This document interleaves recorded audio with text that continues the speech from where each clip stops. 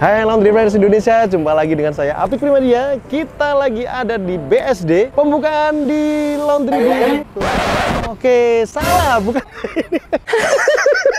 Itu bukan, bukan, bukan, bukan. Yang sini, yang sini. Oke, ini Lulu Laundry di BSD.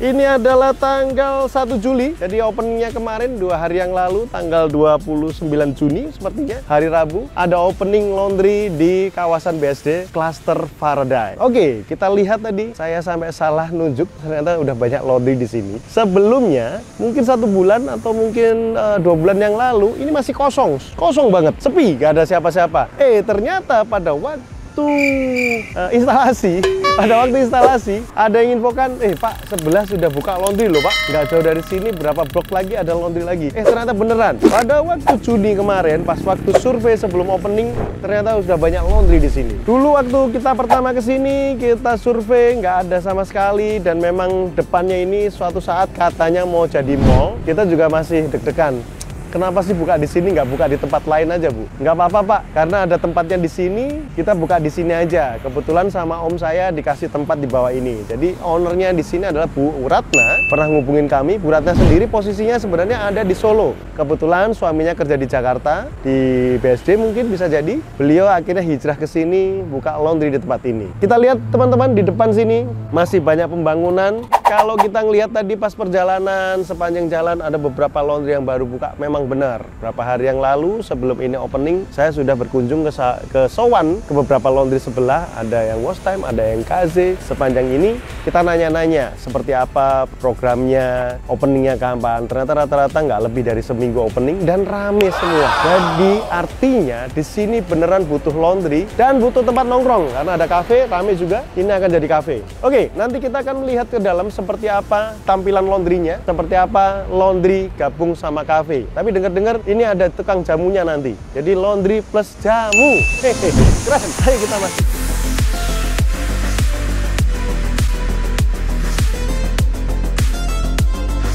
Ini karangan bunga sudah banyak karangan bunga di sini dari Apik Manajemen, dari saudara-saudara dan sebagainya. Nah, ini tampilan depannya kita lihat kalau kita memperhatikan sebelah-sebelahnya view-nya pakai kaca semua full. Nah, di sini yang unik karena beliau ini ada beberapa hitungan dalam tanda petik. Jadi beliau merelakan kacanya cuma segini aja, tampilannya nggak full kaca tapi ini dibikin tembok. Tapi akhirnya ada tampilan seperti ini. Keren ya? Ih, menarik, menarik, menarik. Nah, ini kita masuk ke dalam seperti apa tampilannya. Ada kayu-kayu kelihatan mewah sekali. Bahwa laundry kalau berbisnis apa pun itu termasuk bisnis laundry pun harus profesional dan semenarik mungkin. Kita masuk ke dalam ketemu dengan ownernya.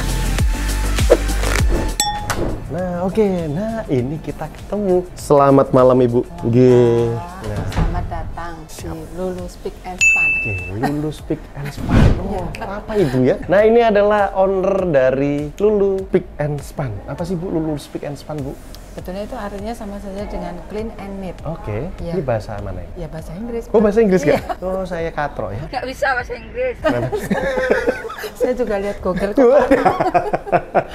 Oke, nah ini teman-teman kita sudah ketemu sama ownernya. Boleh Bu Ratna perkenalan diri dulu Bu. Silakan Bu. Halo, nama saya Ratna. Saya berasal dari Solo. Nah, saya baru saja membuka laundry di Ruko Faraday dengan bantuan dari tim Apik Manajemen. Siap. Terima kasih Bu atas kepercayaan tampilannya dan luar biasa, tampilannya keren banget. Selamat sekali lagi atas pembukaannya. Terima kasih. Laundry gratis bayar pakai doa, teman-teman. Sebelumnya, seperti biasa, kita ada laundry gratis bayar pakai doa. Tiga hari sampai tanggal 1 hari ini terakhir. Katanya tadi rame banget ya Bu. Lumayan. Lumayan rame, ya. ya.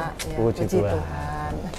Keren, rame hari ini. Meskipun itu jalan masuknya susah, ya masih renovasi dan yeah, sebagainya ya Bu. Yeah. Tapi di sisi yang lain tadi saya udah ngobrol dengan Bu Ratna bahwa ya ini ambil positifnya aja bahwa banyak orang yang belum tahu dikiranya masih tutup ya Bu. Betul. Tapi di sisi yang lain akhirnya anak-anak yang baru bekerja di sini bisa trainingnya lebih leluasa ya Bu. Saya juga masih belajar, anak-anak okay. juga masih belajar. Kita ada kesempatan untuk belajar juga. Luar biasa. Gitu. Ini sadar banget ya.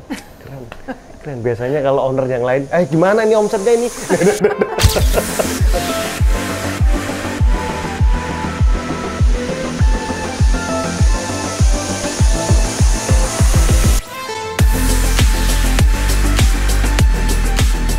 Sebelumnya pernah bisnis apa Bu? Bu Ratna? Ibu rumah tangga. Oh, ibu rumah tangga. Iya. Cuma saya sebelumnya pernah buka kantin juga. Oh kantin Iya. di Solo ya? Ya, di Solo di Iya. dekat rumah juga. Hmm. Terus kenapa kok tiba-tiba bisnis laundry dan harus pindah ke Jakarta Bu?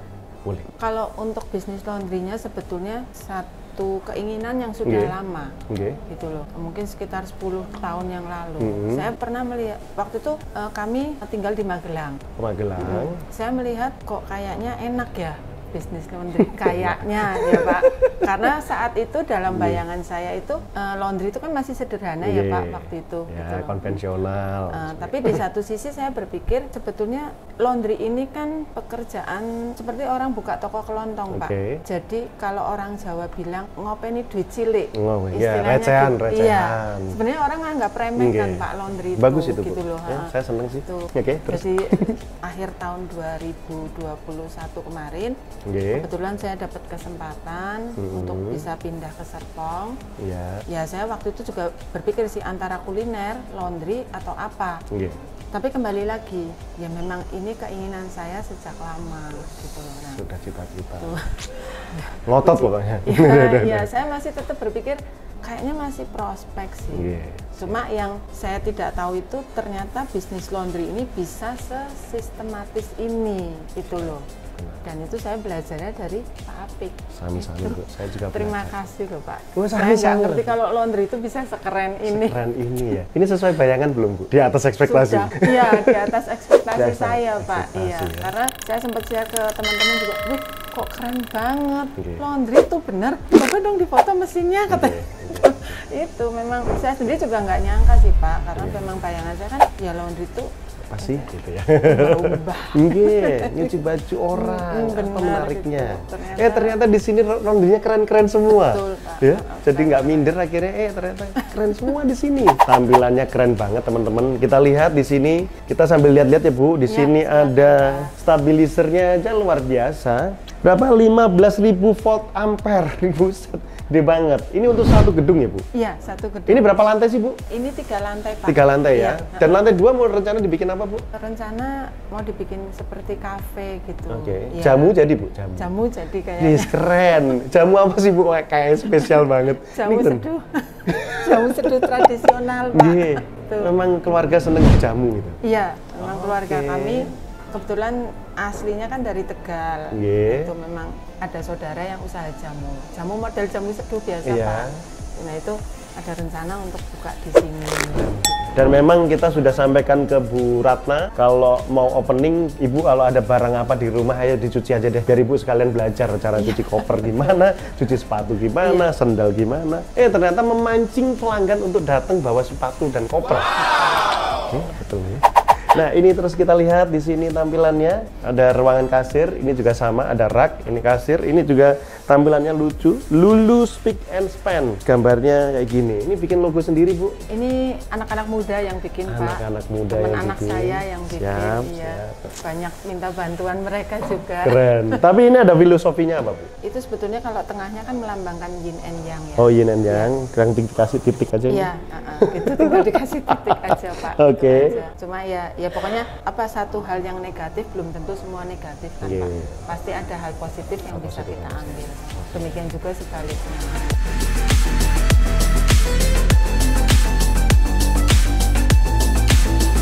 Seperti yang sampai saya sampaikan sebelum-sebelumnya, termasuk semua klien yang ada di playlistnya Apik Management, rata-rata kalau opening laundry gratis bayar pakai doa. Yang pertama memang kita minta didoakan. Betul. Karena kekuatan doa luar biasa. Sepakat nih Bu? Sepakat. Terus yang kedua adalah sebenarnya ada trik marketing di sini bahwa kita targetnya adalah cuci lipat. Biar semua warga mengetahui bahwa cuci lipat serapi seperti disetrika. Jadi kita lagi mengedukasi, kita lagi mensosialisasikan untuk cuci lipat. Kalau nggak dikasih gratis belum tentu mau. Karena di diskon 80%, 70% aja nggak mau. Karena rata-rata pasti orang minta cuci setrika aja. Biar enak dan biar dia nyobain, kasih laundry gratis. Toh kalau masih kusut, ya nggak mau komplain, nggak bisa komplain. Karena gratis kok komplain.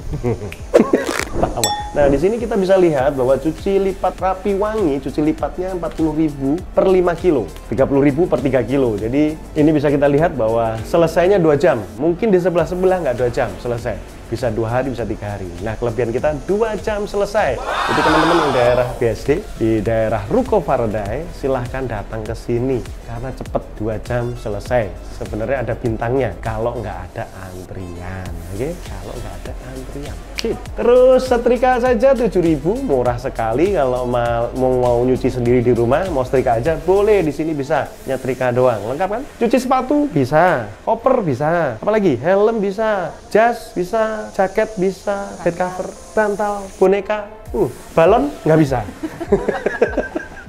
Oke, cuci setrika wangi 8.000 per kilo satu hari selesai. Sangat terjangkau untuk area market di sini.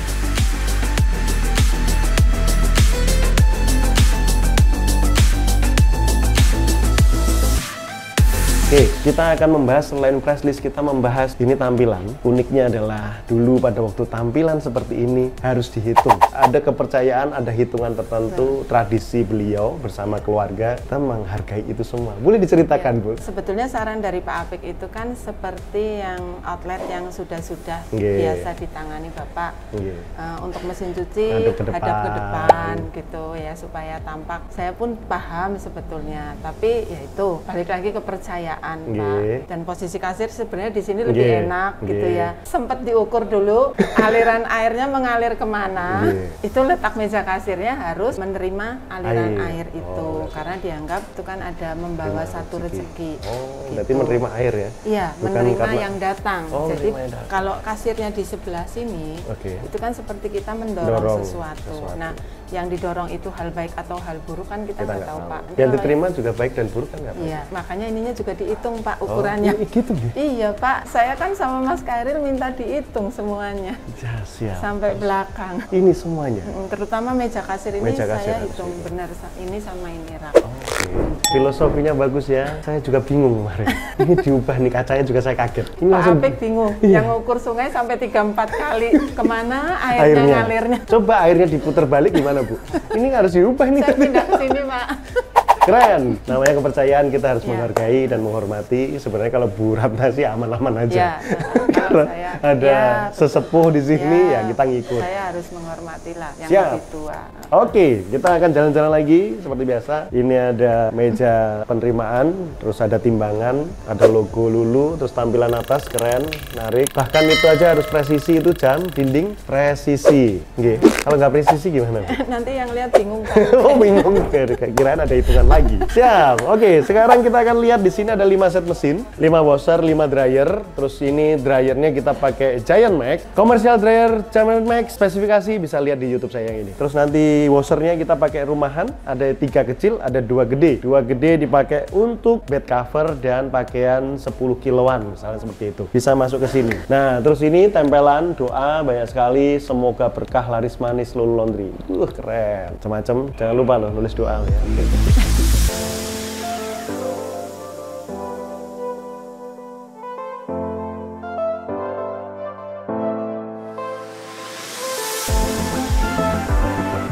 Oke. Oke, terus ini adalah area untuk kerja. Cuci lipat bisa di sini, setrika pun bisa di sini. Ukurannya berapa Bu kemarin? Ini lebarnya 4,75. 4,75. Iya. Terus ke belakang Ke belakangnya sekitar 9 meter. 9 meter. Iya. Oke, teman-teman bisa ngelihat mesin bisa muat seperti ini, meja rak bisa di sana, kelihatan lega, tampilannya bagus. Lampu-lampu ada di mana-mana, jadi pekerjaan bisa enak di sini. Cuci lipat pun bisa di sini, terus naruh deterjen bisa di bawahnya. Jadi semuanya terpakai dengan baik. Sini kursi-kursi ada semua, ini standing steamer, ini nos untuk eh, ngerjain dry clean. Ini mbaknya lagi belajar karena tadi saya tanyain nggak bisa jawab, nah kan? Sekarang ujian, oke?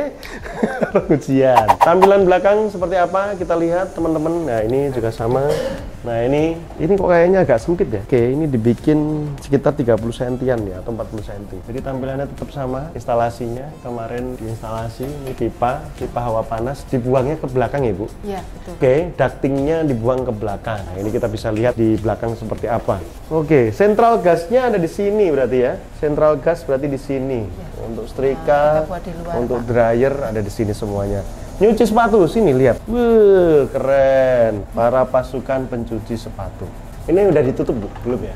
Belum, nanti rencananya mau kita Oke. tutup semua sih Pak. Oh tutup semua? Iya. Oke kita masuk lagi, sudah keren sekali. Bahwa ukuran sekitar 4,75 kali sekitar 9 meter hasilnya seperti ini. Cucian kalau membludak dan antrian kita masih bisa ada space. Jadi kenapa sih saya biasanya selalu bilang minimal 40 meter persegi atau idealnya 60 meter persegi. Jadi kalau sirkulasi cucian mulai banyak kita bisa leluasa untuk bergerak. Karena biasanya kalau tidak leluasa bergerak itu yang mengakibatkan banyak baju ketuker, terus baju hilang, baju rusak misalnya karena suasana panas itu juga mempengaruhi. Oke, kita ke depan lagi Bu. Kayaknya adem di sini ya. Rencananya ke depan apa lagi Bu yang akan dieksekusi atau ada ide apa ini untuk ke depan? Saya rencana mungkin ingin ini Pak masuk proposal untuk hotel Oh, dan gitu ya. rumah makan. Mm-mm.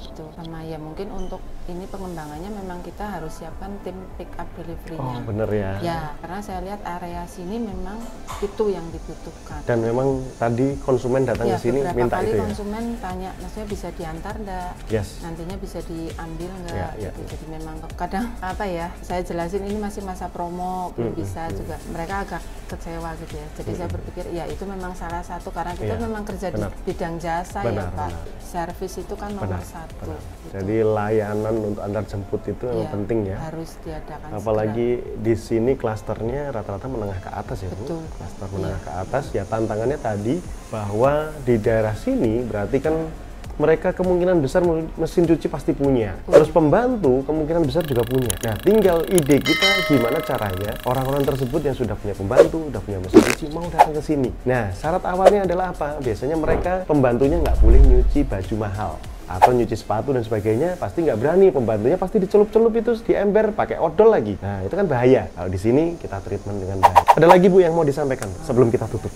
Yang pertama saya berterima kasih pada tim Apik Manajemen. Oh, siap. Ya, Terima kasih, sangat Sama. berterima kasih karena sudah dibantu sampai seperti ini. gitu. siap Minta doanya saja supaya lulus Pick and Span bisa berjalan lancar. Amin. Terima kasih juga buat Bu Ratna dan keluarga yang sudah mempercayakan ke kami. Meskipun kemarin banyak hal yang kita sempet saya sempet, sendiri sempat ragu. Ini sepi banget Bu. Ketawa Saya lagi tuh. Sampai di pending, jangan buka dulu Bu Ratna. Ya udah lah Pak, saya manut. Iya, kita sebagai manajemen nggak harus yang buru-buru ini dan sebagainya, karena kita memang harus memposisikan diri seperti eh, klien, seperti mitra bahwa kalau saya menjadi Bu Ratna, kalau masih sepi banget ya ngapain sih, belum ada klien. Nah kalau ini kan sudah punya banyak teman, ada beberapa laundry yang buka, akhirnya enak sparring, eh, marketnya sudah mulai terbentuk. Nah ini lebih enak lagi. Di sini sisi yang lain kita juga belajar bahwa dalam berbisnis kita pasti akan ada tetangga, kompetisi pasti ada. Tinggal kita mau berikan layanan lebih apa di sini. Yang pertama tadi yang sudah mulai nancep adalah bahwa laundry di sini bayarnya cukup pakai doa. Nah itu itu juga menarik tuh. Bisa jadi bahan omongan di keluarga atau teman-teman. Eh di laundry di sana loh bayarnya cuma pakai doa lucu loh dan sebagainya. Nah itu itu salah satu goal kita yang pengen kita sampaikan. Pesan yang pengen kita sampaikan ke masyarakat bahwa ini loh ada hal-hal unik yang kita eksekusi termasuk nanti manajemen akan mengembangkan hal yang lain. Terima kasih banyak sekali lagi Bu Ratna atas kepercayaannya. Semoga Lulu Speak and Spend ya luar biasa melayani masyarakat dan menjadi kepercayaan masyarakat sekitar sini. Terima kasih. Sukses selalu. Bu. Terima kasih teman-teman yang sudah nonton video ini dari awal hingga akhir. Saya sudah ngobrol-ngobrol bersama Bu Ratna yang membangun laundrynya. Meskipun belum 100% tampilannya oke di depan, tapi mudah-mudahan dengan respon pelanggan yang baik bisa membawa Lulu Laundry ini menjadi kepercayaan bagi masyarakat sekitar PSD ini. Oke, saya Apik Primadia undur diri. Saya Ratna, terima kasih. Terima kasih. Sampai jumpa lagi. Bye. Thank you, thank you.